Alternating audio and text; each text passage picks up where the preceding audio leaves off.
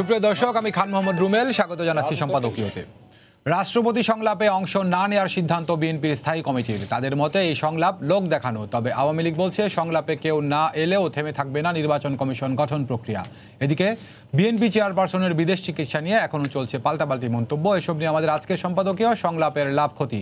আর এ নিয়ে আলোচনার জন্য আমাদের সঙ্গে স্টুডিওতে উপস্থিত আছেন হাবিবুর রহমান হাবিব, বিএনপি চেয়ারপারসনের উপদেষ্টা। আছেন advocate A B M Riazul Kabir Kawsar, সদস্য, কেন্দ্রীয় কার্যনির্বাহী সংসদ বাংলাদেশ আওয়ামী লীগ এবং হারুনুর রশিদ, নির্বাহী সম্পাদক দৈনিক সময়ের আলো।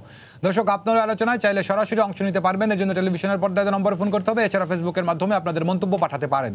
আলোচনা শুরুর আগে দেখে নেব এখনকার প্রধান শিরোনামগুলো। ক্যাপসুল প্রযুক্তি ব্যবহার করে চিকিৎসা চলছে বেগম জিয়ার। বিদেশে যাওয়ার সুযোগ নেই বললেন দুই মন্ত্রী। চার জেলায় বিক্ষোভ, ফেনীতে একশো চুয়াল্লিশ ধারা উপেক্ষা করে মিছিল। প্রতীক বরাদ্দের পরই নারায়ণগঞ্জে নির্বাচনী প্রচারণা শুরু, উৎসবের আমেজ।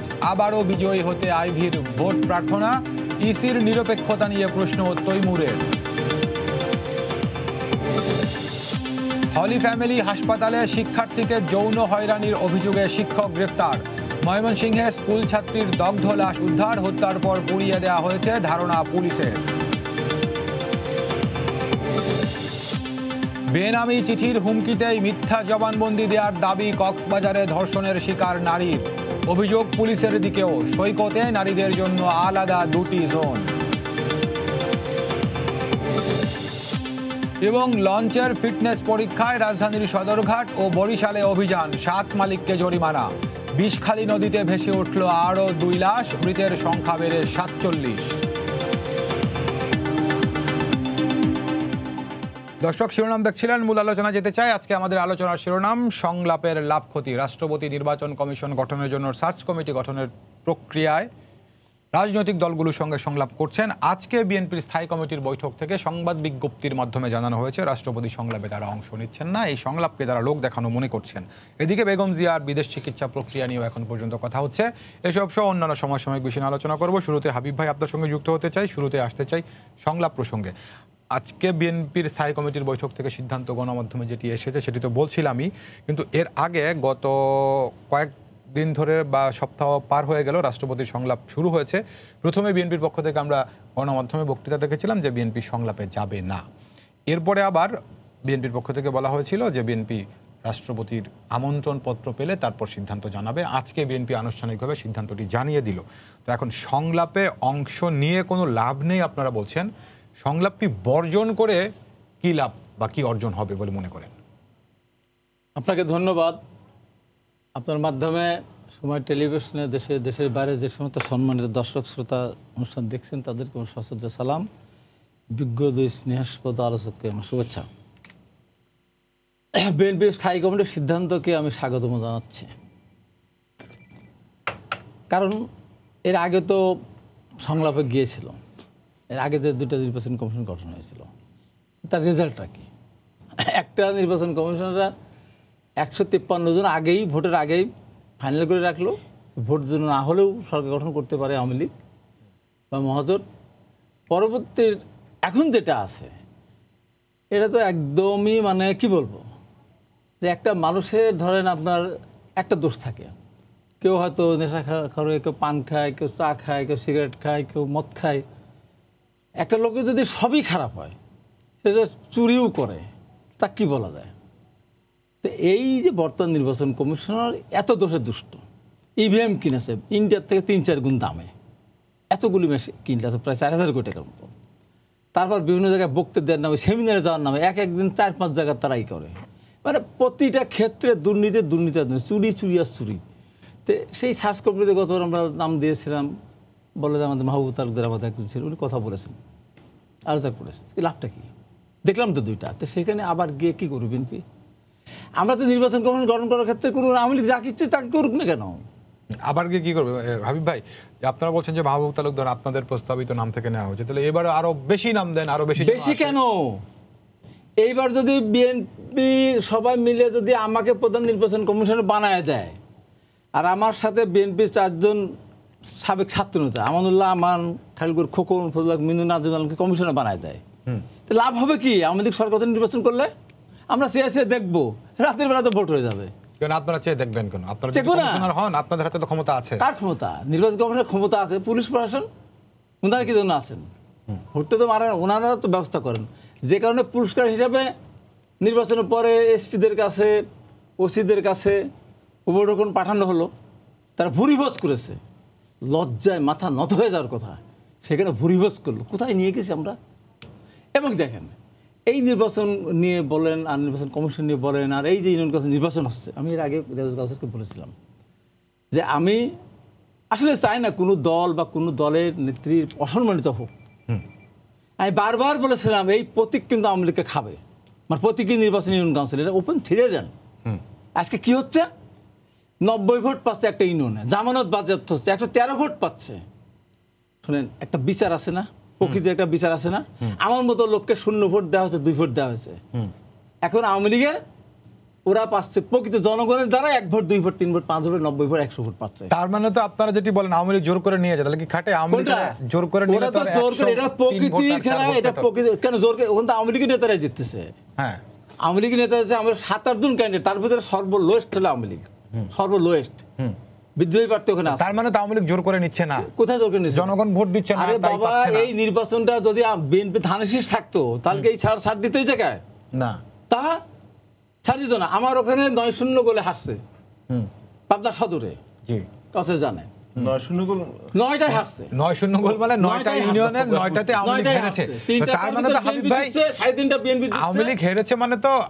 প্রভাব বিস্তার করেনি আপনারা যে অভিযোগ করেন। তাদের লোক তো তাদের মুখে তাদের। প্রার্থী জিতবে। ধন্যবাদ হাবিব একটা ভাই। তারা দিচ্ছে আপনার এবার সাথে- আমার একটা কথা বলি আমি জি। আমার ইয়াদুল কাসার তো তার শ্বশুর বাড়ি এখন তো তাকে কিছু বলতেও পারব না। আফটার অল জামাই জামাইও ধরবো না ভগ্নিপতি ধরবো যাকে ধরতে হবে তো। আমাকেও বুঝলে জেলা বলবে যে আবার আবার ইস্যুর কথা বলতেছে। বলতেছে এই কারণে যে আমাকে দুই হাজার আঠারো সালে দিয়েছিল চার হাজার ভোট আটঘরিয়াতে আমার মাসপাড়া ইউনিয়নের ফারুক ও ভোট পেয়েছে সাড়ে দশ হাজার। আর আমাকে সারা ই দিছে। আর একটি নাম্বার দুই প্রার্থী মিলে ভোট পেয়েছে চার হাজার। তাহলে আওয়ামী লীগের তাহলে কি তার এই যে বলে আওয়ামী লীগের ভোট ভোট আওয়ামী লীগ তো বিএনপিকে ভোট দেয়নি। তো এরপরে আওয়ামী লীগের এখন উচিত তৌবা পড়ে। এই প্রতীক বরাদ্দ প্রতীকে নির্বাচন না করে ওপেন ছেড়ে দেওয়া উচিত। তাহলে যদি মানুষ সম্মান নাই তারপরেও বলব যে একটা বাঁচার একটা সুযোগ স্থানীয় সরকারের প্রতীক নিয়ে পরে আসছি তার আগে। কাউসার ভাই জি। হাবিব ভাই যেটি বলছেন যে এবার এই রাষ্ট্রপতির সঙ্গে সংলাপে তারা কেন যাচ্ছেন না? কারণ গত দুইটি কমিশনের গঠনের আগে যে সংলাপ ছিল সেখানে তারা গিয়েছেন গিয়ে আসলে কোনো কাজের কাজ হয়নি হাবিব ভাইয়ের ভাষায় বা তাদের কি কি কাজ হওয়া দরকার ছিল? নিরপেক্ষ কমিশন গঠনের জন্যই তো এটি। নিরপেক্ষ কমিশনে যারা আছেন কেউ কি দলীয় না দলীয় কি দলীয় না সেটি না হাবিব ভাই বলছেন কমিশন নিরপেক্ষ না। হাবিব ভাই তো কথা তো আপনি শুনেছেন যে একেবারে আপাদমস্তক দুর্নীতিগ্রস্ত বলছেন হাবিব ভাই। এবং সে কারণেই তারা এবারও যাবেন। ধন্যবাদ আপনাকে। সময় টিভির যারা অনুষ্ঠান দেখছেন তাদেরকে ধন্যবাদ জানাচ্ছি। আসলে হাবিব ভাই কোন দিকে ব্যাটিং করেছেন বুঝতে পারিনি। আপনার বিষয়বস্তু কি? উনি কোথা থেকে কোথায় চলে গেছেন আমি ঠিক বুঝতে পারিনি। ইভিএমও চলে গেছেন। ওনার হাতে যে মোবাইলটা এটা কিন্তু আওয়ামী লীগ সরকারের করা। আধুনিক প্রযুক্তির ফসল আমাদের হাতে। এখন বলেন? যে না মোবাইল তো বিএনপির সময়। বিএনপি সময় বলতে গেলে তো বলতে হবে দেড় লাখ টাকার মোবাইল। যতই হোক না কেন। সিটি সেলের মোবাইল তাই না? তিনি মনে বোঝাতে চাচ্ছেন সাতানব্বই সালে যখন ব্যাপকভাবে এটা হয়। পল্লী ফোন জনগণের হাতের কাছে আমরা জানাচ্ছি পাঁচ হাজার টাকার মধ্যে সেই মোবাইল।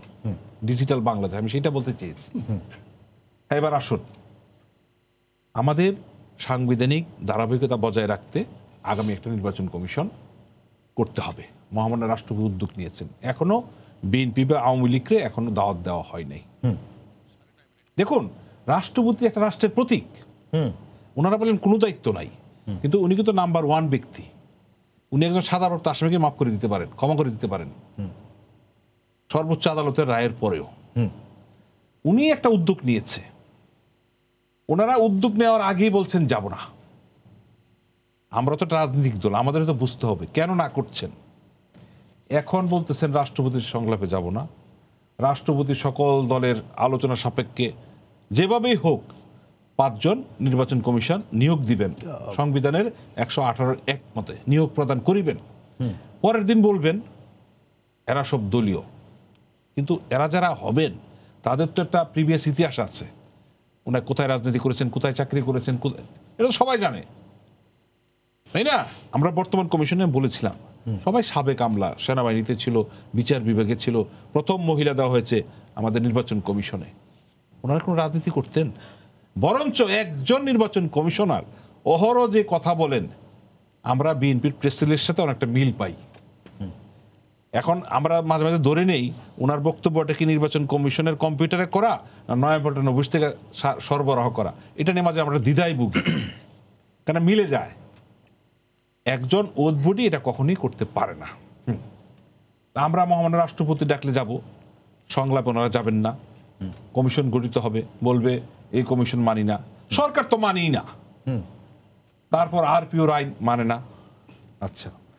এখন বলছেন কি সংলাপের দরকার নেই সার্চ কমিটির দরকার নেই কমিশন গঠনের দরকার নেই সরকার পদত্যাগ করুক। বর্তমান যে সংবিধান আমাদের পদত্যাগ করার কোনো ধারা আছে? পদত্যাগ করে কারকে ক্ষমতা দিয়ে যাব? নিরপেক্ষ সরকার বিএনপির ভাষায়। তার সেটা কি সাংবিধানিক? বিএনপি বলে প্রয়োজনে বিএনপি তো প্রতিনিয়তই অসাংবিধানিক ইয়েতে হাঁটে। যুদ্ধে নেমেছিলেন হেরেছেন। চোদ্দ সালে যে অ্যাটেম্পটা নিয়েছিলেন কি অ্যাটেম্প নিয়েছিলেন? বিএনপি একটা বড় রাজনৈতিক দল। আমরা যদি নির্বাচনে না যাই আওয়ামী লীগের সাধ্য নয় নির্বাচন করার। কি হবে? একটা অনির্বাচিত সরকার আসবে। তা এই সুযোগটা ওনারা নেবেন। দেশে একটা অরাজকতার সৃষ্টি হবে। পেরেছেন পারেন নাই। আচ্ছা কাসর ভাই। ওই নির্বাচনে কিন্তু বারোটা রাজনীতি দল অংশগ্রহণ করেছে। করেছে কিন্তু আবার একশো তিপ্পান্ন জন চুয়ান্ন জন বিনা বাংলাদেশের নির্বাচনী আইনে দেখেন আমি স্পষ্ট করে বলি। এই এগারোটা জাতীয় সংসদ নির্বাচনে জি। এমন কোন নির্বাচন নাই যে নির্বাচনে বিনা প্রতিদ্বন্দ্বী নির্বাচিত হয় নাই। কিন্তু অর্ধেকের বেশি। উনিশ সংখ্যাটা বিষয় না একটা হোক আর একশো নিরানব্বইটা হোক। আচ্ছা।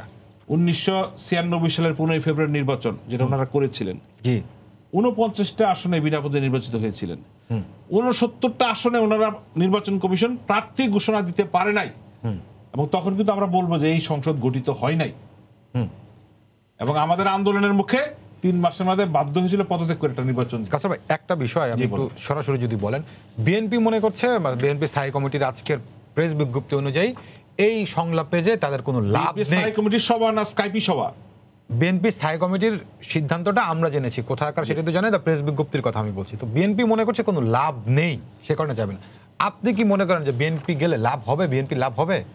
আমি এভাবে দেখতে চাই না। আমি দেখতে চাই বাংলাদেশ নির্বাচন কমিশন নিবন্ধিত রাজনৈতিক দল হিসাবে একটা রাজনৈতিক দল এই দেশের জাতীয় সংসদ নির্বাচন অংশগ্রহণ করবে স্থানীয় সরকার নির্বাচনের অংশগ্রহণ করবে জনগণ এবং ভোটারদের রায় নিয়ে ক্ষমতায় যাবে। জি।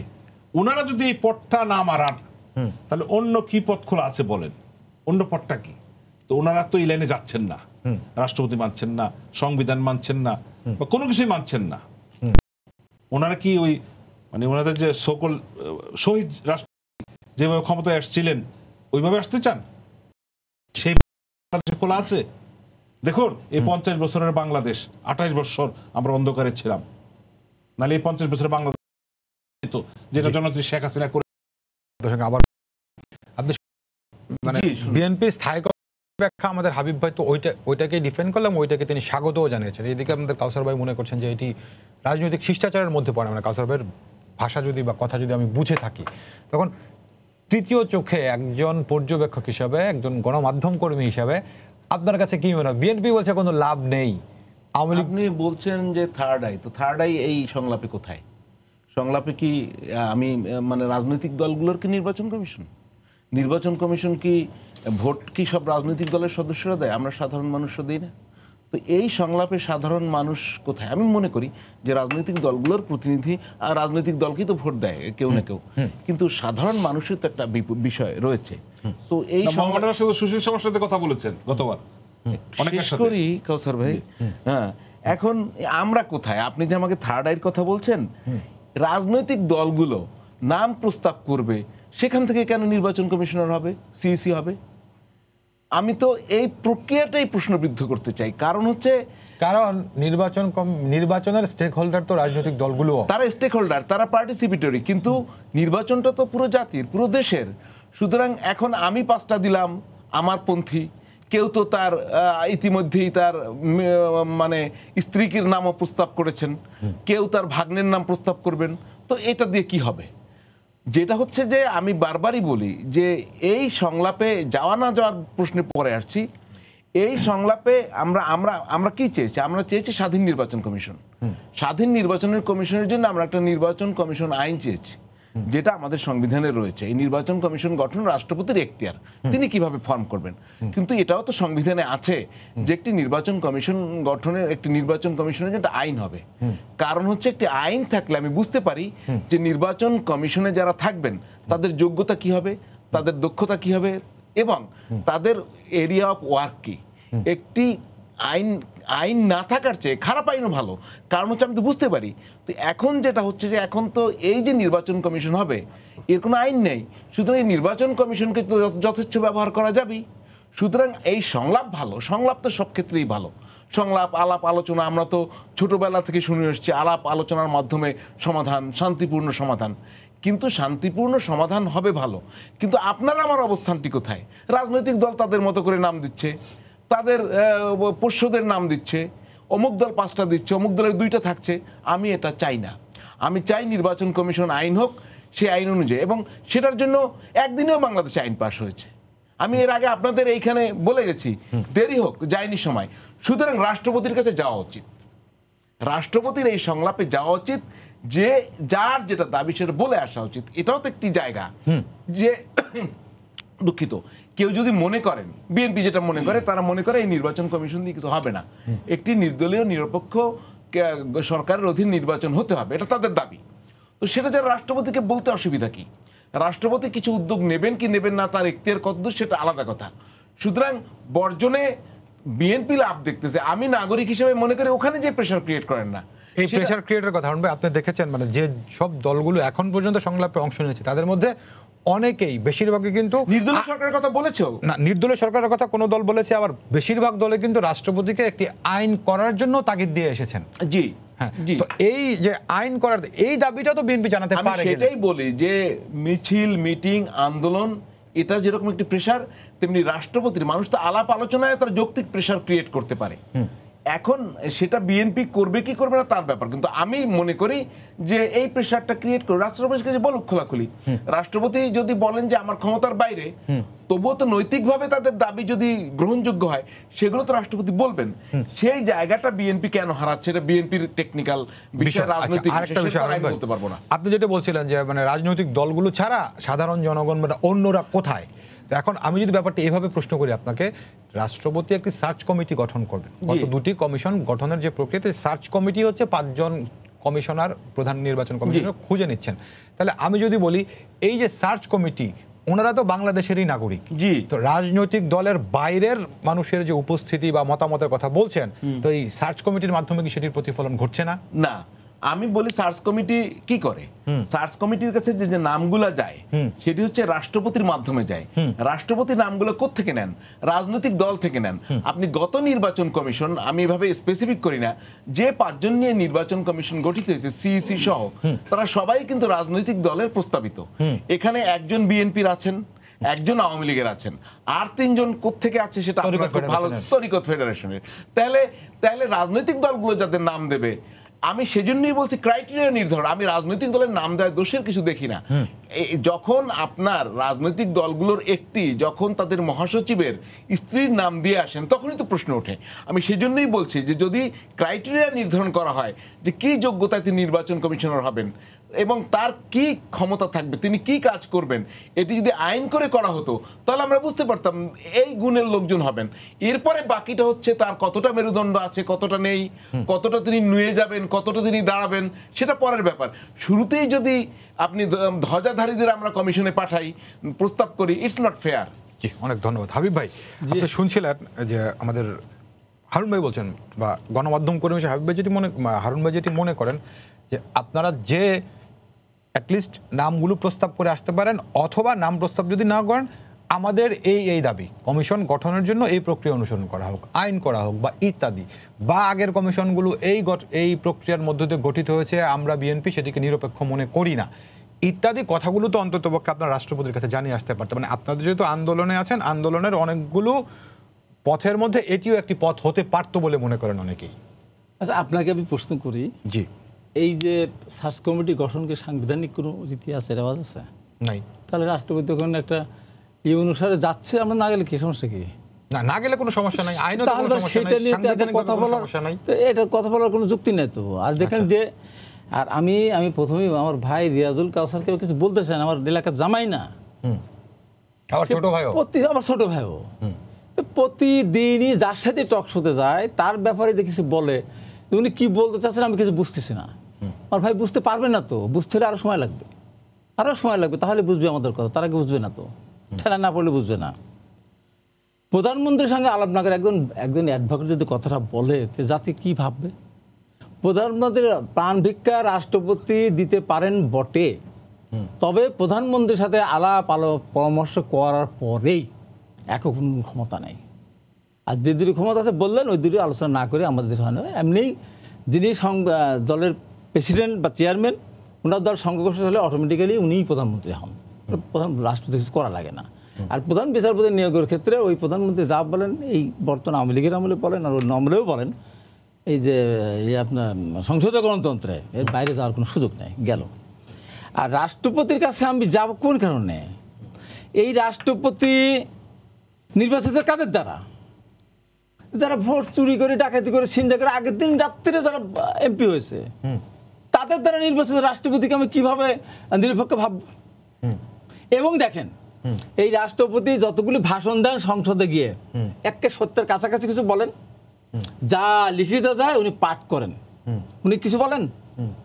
তাহলে তার কাছে গিয়ে কি হবে?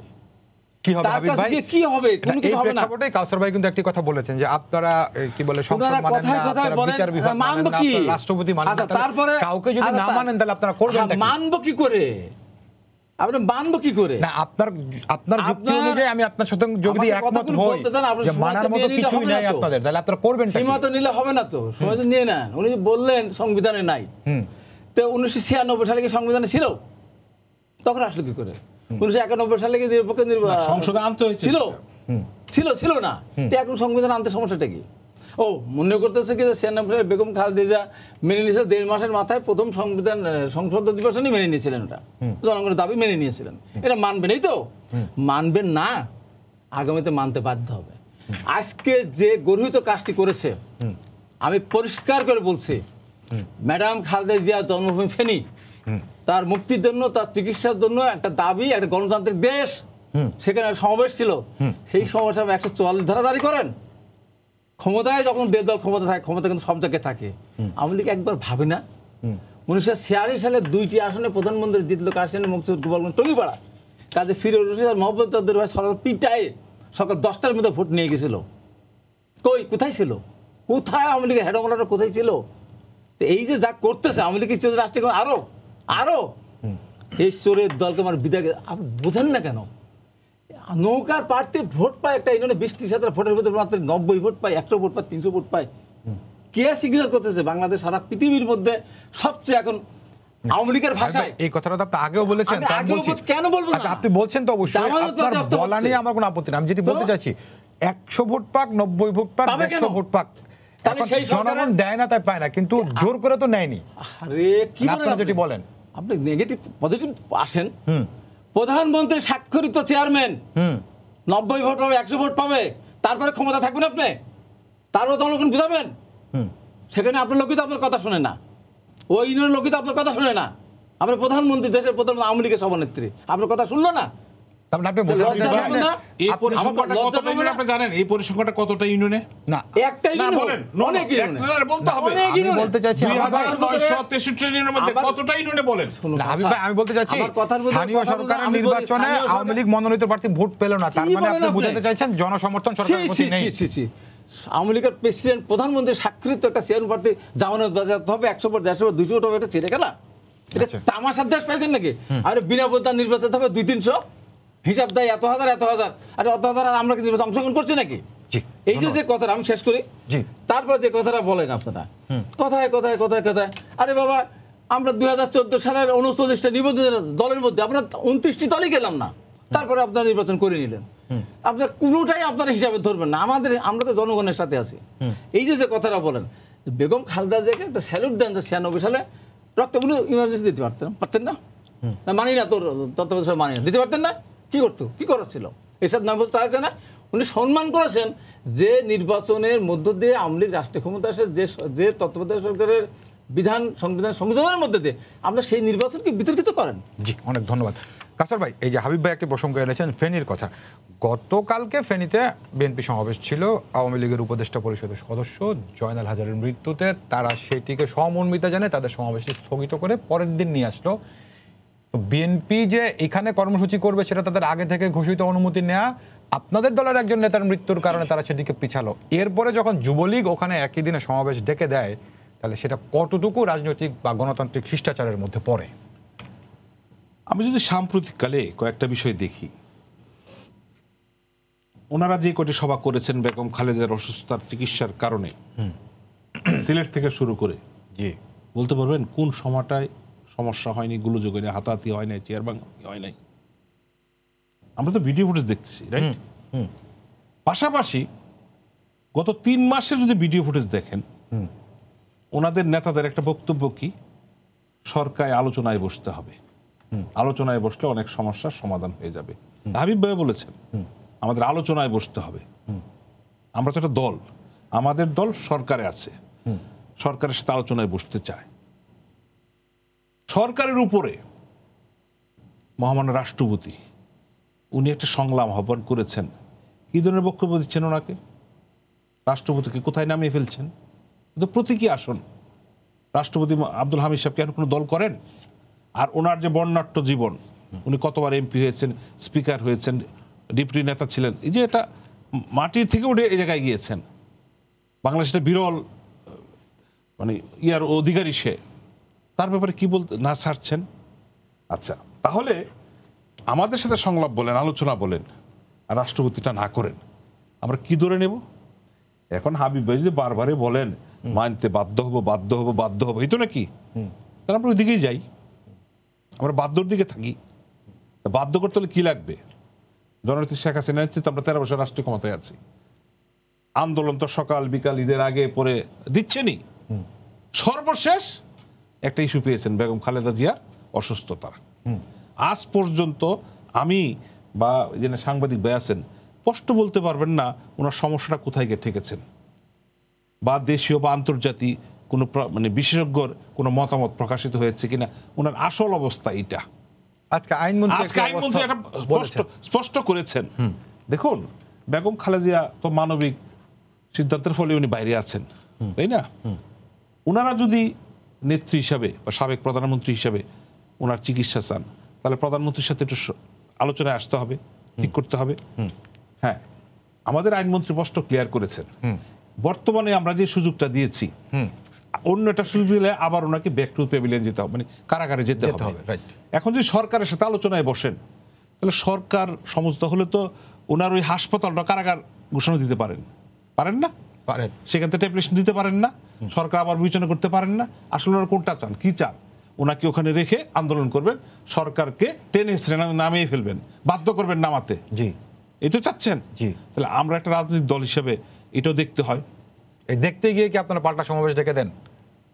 দেখুন ওখানে তো ওনারা আমাদের ওনার পিছানোর জন্য এই সমস্যাটা হয়েছে। আমি তো স্পষ্টই বলেছি আপনি আপনাদের নেতার মৃত্যুর কারণে পেছালো। ওনাদের কোনো নেতার মৃত্যুর কারণে তো পেছায়নি। দেখুন এটা স্থানীয়ভাবে একটা সিদ্ধান্ত হয়েছে তাই না? এবং আমি যেটা বলতে চাইছিলাম দেখেন কোন জায়গাটায় হয়নি মারামারি ওনাদের? না, ওনারা মারামারি করেছেন সেটা ওনাদের সমস্যা। কিন্তু যখন আওয়ামী লীগ বা যুবলীগ একটা সমাবেশ ডেকে দেয় তখন তো সমস্যাটা শুধু বিএনপি থাকে না। এই সমস্যার মধ্যে তখন আপনারা ঢুকে যান না কিনা? সেই ক্ষেত্রে তো দুই পক্ষের উচিত ছিল প্রশাসনের আলোচনা করা। তাই না? প্রশাসন আলোচনা করে প্রশাসনে ওয়ান ফোর্টি দিয়েছে। তো বিএনপি তো ওদের অনেক আগে থেকে ঘোষণা করা। বিএনপি এখন হঠাৎ করে আপনি সেখানে ডেকে দিলেন। সেটা সমঝোতা করতে পারতো তো। এই জন্য তো আলোচনায় বসা দরকার। ওনারা তো আচ্ছা, রাষ্ট্রপতির আচ্ছা। সাথে বসতে চান না। দলের সাথে কি বসবেন? তাই না? এই জায়গাটায় আসতে হবে। রাষ্ট্রীয় ক্ষমতায় যেতে চান। জনগণ দরকার। হাবি হারুন বাগিতে একটা কথা বলেছেন। দেখুন আমাদের সতেরো কোটি লোকের কত শতাংশ লোক রাজনীতি করি? জি। কিন্তু যখন নির্বাচন আসে এরা কিন্তু একটা দলের পার্ট হয়ে যায়। একটা দলের প্রতীকের পার্ট হয়ে যায়। নির্বাচনের পরে থাকেন না। তাহলে বুঝতে হবে এদেরকে সম্মান করতে হবে। কারণ নির্বাচনে এরা বড় ফ্যাক্টর আমাদের দলীয় ভোটে আমরা কেউ ক্ষমতায় যেতে পারব না। আমাদের দলের আমাদের যে ইস্যু এগুলি তারা মেনে নেয় আমাদের এগুলি আমলে নিলে আমরা ভোট পাবো ক্ষমতায় যাব। জি অনেক ধন্যবাদ। হারুন ভাই দুটি প্রশ্ন আপনার কাছে আমি করতে চাই। দুটি প্রশ্ন অল্প অল্প করে বলবেন প্রথম প্রশ্নটা হচ্ছে আপনি যেটি বলছেন জনগণ কোথায়? তা আমি যদি এরকম করে আবারও বলি রাজনৈতিক দলগুলোকেই তো আমি ভোট দেব জনগণ হিসেবে যে নির্বাচনটি অনুষ্ঠিত হবে। আওয়ামী লীগ বিএনপি অন্য দল যে কোনো দলকে যেখানে যাকে পছন্দ করে তাকে ভোট দিব। তো সেই দলগুলো সংলাপে অংশ নেওয়া মানে আমারও রিপ্রেজেন্ট করা। এভাবে কি ব্যাখ্যা করা যায় কিনা? একটি প্রশ্ন। আরেকটি প্রশ্ন হচ্ছে এই যে আমাদের আহ, এই কাউসার ভাই যে বিষয়টি বলছেন যে বিএনপি নেত্রীর চিকিৎসার বিদেশ চিকিৎসার জন্য সরকারের মানবিক হওয়ার আশা করে বিএনপি আবার অন্যদিকে যখন রাজনৈতিকভাবে মাঠে মোকাবেলা করা হবে আন্দোলনের মাধ্যমে আদায় করা হবে সেটি বলে তাহলে মানবিক হওয়ার বিষয়টি কীভাবে খোলা থাকে? এই প্রশ্নটি আওয়ামী লীগ ঘুরে ফিরেই কিন্তু তুলছে। দুটি প্রশ্ন আপনার কাছে। প্রথম প্রশ্নটা সেটা হচ্ছে যে রাজনৈতিক দলগুলো সেখানে অংশগ্রহণ করছে নিবন্ধিত রাজনৈতিক দলগুলো। তো যারা যখন ভোট হয় তখন তো ওখানে যারা ভোটার তারা তো কোনো না কোনো রাজনৈতিক দলকে ভোট দেন। এটা আপনি ঠিকই বলেছেন। কিন্তু এই নয় যে আম- এই রাজনৈতিক ন- দলগুলো গেলেই আসলে আমাদের আমাদের মতামত সেখানে প্রতিফলিত হবে। আমি সেটা বলছি এই কারণে কারণ রাজনৈতিক এখানে যেটা সিস্টেম যেটা সেই সিস্টেমে রাজনৈতিক দলগুলো নাম প্রস্তাব করে এবং তাদের পক্ষের লোকজনের নাম প্রস্তাব করে। কিন্তু সরকার সরকারের বাইরে সরকার বা বিরোধী দল যাই বলে না তার বাইরে রাষ্ট্র আমরা তো রাষ্ট্রের নাগরিক। তো রাষ্ট্র একটা ব্রোডার সেন্সের একটা জায়গা। সেক্ষেত্রে রাষ্ট্রের দিক থেকেও আমাদের সাধারণ নাগরিকদের কিছু চিন্তা থাকতে পারে। যেটা আমি বারবারই বলছি যে আমরা চাই না মানে ব্যক্তিগতভাবে যদি বলেন যে আমরা চাই না রাজনৈতিক দলগুলোর প্রস্তাবিত লোকজন নির্বাচন কমিশনে যাক। সে একজন গেলে সে তার গান গাইবে তিনজন গেলে বেশি গান গাইবে। আমরা চাই রাজনৈতিক দলগুলো সবাই মিলে একটা ফ্রেমওয়ার্ক তৈরি করুক, যেটা সংবিধানে যেরকম আছে। সেই ফ্রেমওয়ার্ক আমরা চাই। ফ্রেমওয়ার্কে যে যে আসে, আমি বলি মেক সিস্টেম আমি সেইটাই কিন্তু বারবার বলছি। কিন্তু সিস্টেম না করে অ্যাডহক ভিত্তি থেকে সব করা হচ্ছে, এটাই হচ্ছে আমার আপত্তির জায়গা। যে আপনি একটি আইন না করে, একটি সিস্টেম তৈরি না করে নির্বাচনের আগে একটি অ্যাডহক ভিত্তিতে এটা করেন। যেমন প্রশ্ন উঠেছে যে সংবিধানে সংলাপ আছে কিনা বা সার্চ কমিটি আছে কিনা? নাই। তো রাষ্ট্রপতি সেটা আবার তার ইখতিয়ারে করতেই পারেন। সেটা আবার এর ভিতরে সংবিধান বিরোধী কিছু খোঁজারও কোনো মানে নেই। কিন্তু আমি যেটা মনে করি যে এর চেয়ে বেটার অপশন হতে পারে। আইন করাটা হচ্ছে সবচেয়ে বেটার সবচেয়ে। আমি আর সংক্ষেপে বলি কেন আমি বারবার নির্বাচন কমিশনকে এত শক্তিশালী করার পক্ষে? উইথ আইন এটা একটা গণতান্ত্রিক প্রতিষ্ঠান। আমরা আপনি কেয়ারটেকার বলেন নির্দলীয় সরকার বলেন এগুলো কিন্তু কোনো স্থায়ী ব্যবস্থা না। অ্যাডহক কারণ হচ্ছে আপনি আমার বলি এটা বারবার এখানে বলেছি যে বাংলাদেশে যখন কেয়ারটেকারের জোয়ার চলছে তখন কিন্তু অটল বিহারী বাজপেয়ী ভারতের প্রধানমন্ত্রী তিনি বাংলাদেশে একবার এসেছিলেন। তখন তাকে কেয়ারটেকার আমাদের যে একটা ইউনিক পদ্ধতি এর গুণাগুণ এগুলো সব তাকে বোঝানো হচ্ছিল। তিনি অবাক বিস্ময় এগুলো শুনে তারপরে বলেছিলেন তোমাদের দেশে কি নির্বাচন কমিশন নেই? তো এটি একটি বড় প্রশ্ন যে অ্যাডহক ভিত্তিতে কতদিন চলে? এটা না করে যদি নির্বাচন কমিশনকে শক্তিশালী করার চেষ্টা করা হতো আমাদের অনেক সংকটের। গত পঞ্চাশ বছরে কেউ করেনি নব্বইয়ের গণভ্যুত্থানের সময়ও কিন্তু দুইটা দল সেই চেষ্টা করেনি। সেই চেষ্টা করা উচিত ছিল। সেবার আন্দোলন বন মানবিকতার প্রসঙ্গ আন্দোলন এবং মানবিকতা সেই দুইটা জায়গার ভিতরে আমি একটা কথা বলি যে আমরা বারবারই বলি মানবিকতা আমি কিন্তু আপনার এই টকশোতে এসেই বলেছি যে মানবিকতার কোনো লিমিট নেই। একজন মানুষ কতটা মানবিক হবে তার কোনো শেষ সীমা পরিসীমা নাই। সুতরাং এর কোনো লিমিট নেই। সর্বোচ্চ মানবিকতা কোনটা সেটা আমরা বলতে পারি না। কিন্তু এই মানবিকতার যে জায়গাটা বলছি তার সাথে অবশ্যই রাজনৈতিক একটি সংযোগ আছে। মানে বিএনপি যতই না বলুক যে এটি মানবিক এটা নিয়ে আওয়ামী লীগ পলিটিক্স করছে আবার আওয়ামী লীগ বলছে বিএনপি পলিটিক্স করছে। আসলে দুই দিকে এটা রাজনীতি আছে। কারণ খালেদা জিয়া তো প্রধানমন্ত্রী সাবেক তিনি একটি দলের চেয়ারপারসন উনি তো একটি রাজনৈতিক ব্যক্তিত্ব। সেক্ষেত্রে মানবিকতার জায়গাটা হচ্ছে সবচেয়ে বড়। জায়গাটা সেটা হচ্ছে আস্থায় নিয়ে এই সুযোগটা নিতে হবে। এটি তো মানে আজকে কিন্তু আমি কথা বলেছি বিএনপি নেতাদের সাথে কথা বলেছি আমি আইনজীবীদের সাথে কথা বলছি। তারা কিন্তু এখনও প্রধানমন্ত্রীর দিকে তাকিয়ে আছেন। কারণ প্রধানমন্ত্রী তারা মনে করেন চাইলে এই সুযোগটি দিতে পারেন তার এখতিয়ার। তো প্রধানমন্ত্রীর দিকে তাকিয়ে থাকলে একটু আগেই হাবিব ভাইয়ের কথা শুনলাম রাষ্ট্রপতিকে তারা মানেন না। প্রধানমন্ত্রীকে তারা মানেন না সরকারকে তারা মানেন না। তাহলে দাবিটা কোথায় করছেন? জি হাবিব ভাই তাহলে দাবিটা আপনারা কোথায় করছেন? এক আর দ্বিতীয় কথা হচ্ছে আপনারা সরকারকে মানবিক হওয়ার আহ্বান জানাচ্ছেন আবার মাঠের বক্তৃতায় সরকারকে হটিয়ে এই সরকারের কাছ থেকে আদায় করে নেব আমরা নেত্রীকে বিদেশ যাওয়ার সুযোগ। তাহলে পরে সরকার কোনটা নিবে? মানবিক হওয়ার অপেক্ষা থাকবে নাকি আপনাদের হুমকিকে তারা মোকাবেলা করার চেষ্টা আমি আমার ভাই হারুন ভাই সাংবাদিকের উত্তর দিতে চাই। কেন মানবেন ভাই? রাতের আগের দিন রাতের ভোট হলো আমি নিজে জ্বলন্ত তার প্রমাণ। তাহলে এই এই এই- সংসদ বৈধ না? এই সংসদ দ্বারা নির্বাচিত ইন্টারাপ্ট করি কথাটা তো বারে বারে বলেন। বলব তো একশো বার বলব আপনারা তো। একটা বড় রাজনৈতিক দল দীর্ঘদিন ক্ষমতায় ছিলেন। আপনারা কি আইনগত ব্যবস্থা নিয়েছিলেন? কোর্টে গিয়েছিলেন? কমিশনে গিয়েছিলেন? তাহলে কেন বলতে চান? তাদের সাতজন আচ্ছা। আছে তো এখন না না এটা আমি সাদের ওরা নির্বাচিত। কেন? আরে আমার হাসেন কেন? ওরা ভোট পাচ্ছে হারুন পাচ্ছে এক লাখ পাঁচ হাজার আমলি ভোট পাচ্ছে পঁচানব্বই হাজার। আর এখন ভোট পাচ্ছেন না, পঁচাশি হাজার পঁচানব্বই পাচ্ছেন আশি হাজার। আর এখানে সাড়ে তিন লাখ বারোশো চার লাখ দুই হাজার। তাহলে কি নিরপেক্ষ নির্বাচন কি যেখানে বিএনপি পরাজিত হলেও কাছাকাছি ভোট পাবে সেটি নিরপেক্ষ নাকি বিএনপি নির্বাচন হলে অবশ্যই। নির্বাচন যে দল আগের বার একশো পঁচাশি আসন পায় যাদের ভোট এক লক্ষের উপরে সবগুলি গত নির্বাচনে বিএনপি ইলেকশন করেছে? এই অবস্থা। করে নাই। করা এবং দেখেন দুই হাজার সবশেষ এর আগে আঠারো আটে কত দুই আটটা বাদ দেন না। আট বাদ দেন। আপনার চোদ্দ যদি ধরেন চোদ্দ সালে একশো তিপ্পান্নটা বিনা ভোটে নির্বাচিত। তারপরে উপজেলা নির্বাচন হলো প্রথম দুই ধাপ কারা? কারা? সব তো বিএনপি জামাত। হ্যাঁ সত্য কথা জোট ছিল এটা আমি আমি তো অন্যদের মতো মিথ্যাচার করে কথা বলি না। আচ্ছা। জোট। হয় জামাত দিচ্ছে না তো বিএনপি দিচ্ছে আমি কোথায় ছিল? চোদ্দ সালের পরেও। আর দুই হাজার আটের যদি বলেন সেখানে তেরো সালে যে সিটি কাউন্সিল নির্বাচনগুলি হয়েছিল সব ভোটগুলো তো এক লাখ ভোটের ব্যবধান তো আওয়ামী লীগ দিচ্ছিল তার মানে কি? তার মানে জনগণ তাদের সাথে ছিল না? একশো পঁচাশি আসন থেকে উনত্রিশ আসনে আসছে দুই হাজার আটে। এর মধ্যে কারসাজি ছিল কিন্তু ভোট তো এক লাখের কমকে মানে আওয়ামী লীগকে পরাজিত করতে হবে নির্বাচন তা না। এটা তো ইতিহাস একদম বের হবে। আপনার ছিয়ানব্বই পার্সেন্ট ভোট আপনার শেয়ার নব্বই পার্সেন্ট ভোট হয়ে গেল আপনার শেয়ার ইয়ে দু হাজার আট সালে এসে। এই ভোটেরও একটা হিসাব আছে আমি আপনাকে বলি। যে কথা শেষ করতে আমার ভাই যে কথাটা বললেন কাউসার ঘুরে ফিরে আমি কাউসারের জন্য খুব মায়া লাগছে। জনগণ তাকে কি ভাবতেছে? একটা অ্যাডভোকেট মানুষ। আমার আমার আত্মীয় মানুষ। আমি যে কথা ছোট জন্য হ্যাঁ আমার ছোট ভাই আমার খারাপ মায়া মায়া লাগে আমার আসলে। আসলে রাষ্ট্রপতির ব্যাপারে আমি কেন বলেছি? এই রাষ্ট্রপতি যখন একজন দুর্নীতিবাজ মহামান্য রাষ্ট্রপতি। আচ্ছা মহামান্য রাষ্ট্রপতি বললাম। মহামান্য রাষ্ট্রপতি যখন এক দুর্নীতিবাজ বিচারপতিকে প্রধান বিচারপতি নির্বাচিত করে। কোনটা? এবং সেই প্রধান বিচারপতিকে রাষ্ট্রপতি ভবনে ডেকে নেওয়ার পর এক অনিয়মতান্ত্রিকভাবে সংবিধান পরিপন্থীভাবে সেখানে প্রধানমন্ত্রী আইনমন্ত্রী এবং অ্যাটর্নি জেনারেল উপস্থিত থাকে।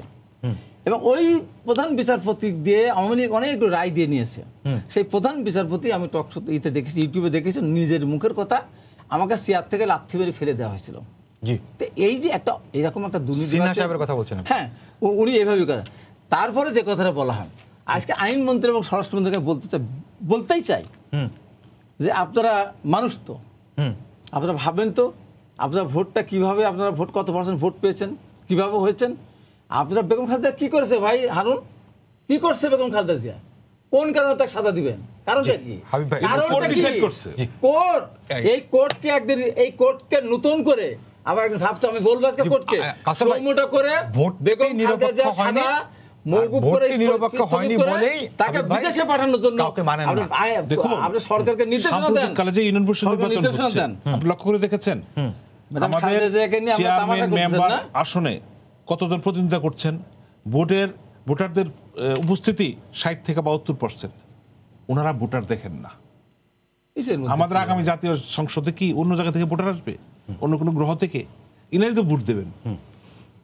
ওনারা কিন্তু দ্বিপাক্ষিক ইয়ে করছেন দ্বিমুখী নির্বাচন করছেন না আবার চিহ্নিত যেখানে লোক election 72% করছে। ভোট cast হয়েছে, দেখেন ওইখানে নারায়ণগঞ্জ আওয়ামী লীগের দেখেন, জামানত বাজেয়াপ্ত হচ্ছে। নারায়ণগঞ্জের প্রার্থী কে না চিনি একশো নব্বই ভোট পাচ্ছে একশো তেরো ভোট হ্যাঁ? পাচ্ছে। তাহলে লাভ কি? দানের শেষ দিলে তো পারতেন দেননি কেন আমরা তো বয়কট করছি তৈমুর কার ক্যান্ডিডেট তৈমুর তৈমুরের ক্যান্ডিডেট মির্জা ফখরুল আলমগীর আজকে তৈবুল আলম খন্দকারকে ফোন করে বলেছেন তিনি জনতার ক্যান্ডিডেট জনতা আমাদের সাথে নেই না জনগণ এখন আওয়ামী লীগের সাথে প্রশাসন ছাড়া কেউ নাই। প্রশাসন কিছু বুদ্ধিজীবী কিছু সাংবাদিক হারুন ভাই একটা কথা ব্যবসায়ী তারা আছে। যদি মহামান্য রাষ্ট্রপতি সার্চ কমিটি করেন সার্চ কমিটিতে কিন্তু কতগুলি সাহিত্য সংস্থা উদ্ভুটি লোকদের নিয়ে করা হচ্ছে বিভিন্ন কমিশনের চেয়ারম্যানদের কিনে। এবং তারা যাদেরকে প্রস্তাব দিচ্ছেন হ্যাঁ আমাদের সার্চ কমিটি লেখা থাকবে না শিক্ষত যোগ্যতা কি? থাকবে না। ওনারা কিন্তু সবাই তার কর্মক্ষেত্রে বিশ ত্রিশ বছর চাকরি করেছেন। দেখুন এখানে ব্যাপারটা হলো। সবাই সবার যোগ্যতায় হবে। দৃষ্টিভঙ্গিটা আমার। আমি বলব ভালো হয়েছে হা- হাবিবের ভালো হয় নাই। এই তো বিষয়টা। কিন্তু আইনটা আসলে হওয়া উচিত কিনা কমিশন গঠনের জন্য? অবশ্যই হওয়া উচিত। আওয়ামী লীগ সেটা করার চেষ্টা করছে আওয়ামী লীগ সরকার। আমরাও চাই। কিন্তু এখন মোহাম্মদ রাষ্ট্রপতি যে আলোচনা করছেন আইন না হওয়ার পর্যন্ত আলোচনাটা করবেন না? অবশ্যই। উনি গঠন করবেন না? ভাই আপনি যদি বলছেন পঞ্চাশ বছর হয়নি তো অন্ততপক্ষে আওয়ামী লীগ এখন হবে হওয়ার প্রয়োজনীয়তার অনুভব করছে। এটাকে এক একরকম অগ্রগতি মনে করেন কিনা আপনি? সেটা তো অগ্রগতি বটেই সেটা তো অগ্রগতি বটেই। তবে ওই যে আমি তো বারবারই বলি দেরি হোক হতে পারে। দেরি হোক যায়নি সময়। তবে ওই ইউপি নির্বাচন নিয়ে আমি একটা মিনিট কথা বলি। এক মিনিট হান ভাই দশ সেকেন্ড সময়। দশ সেকেন্ড কথা বলি। ইউপি নির্বাচন আসলে যতই কালসার ভাই এটা বলুক না কেন এটা হচ্ছে কি এটা হচ্ছে আপনার আমি এটাকে বলে এখন বিনা ভোটে নির্বাচিত হচ্ছে। আর হচ্ছে কি আওয়ামী লীগের বিদ্রোহীরা এখানে কতবার নির্বাচিত হচ্ছে বাণিজ্য হচ্ছে। বাণিজ্যের কারণে ওই যে আপনার কিছু লোককে বিনা প্রতিদ্বন্দ্বী জিতে নিয়ে আসছে। আর ওই যে লোককে বাণিজ্যের কারণেই কিন্তু অযোগ্য লোককে স্থানীয় পর্যায়ের নেতারা আবার লাস্ট যে হলো সাড়ে আটশো ইউপি নির্বাচনে সহিংসতার হিসাব করলে দুই শতাংশের মতো ইউপিনে সহিংসতা এইটা আপনাদের 200 তিনজনকে অনেক একশো ধন্যবাদ দর্শক আপনাদের সবাইকে ধন্যবাদ জানিয়ে শেষ করছি। আজকে সম্পাদক আগামীকাল আবারও দেখা হবে দশটা দেখা আমন্ত্রণ রইল। শুভরাত্রি।